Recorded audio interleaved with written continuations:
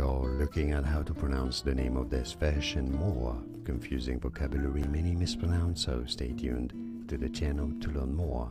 Yes, and there is quite a bit of confusion around this word. Let me see if I can show you. Even Google mispronounces it.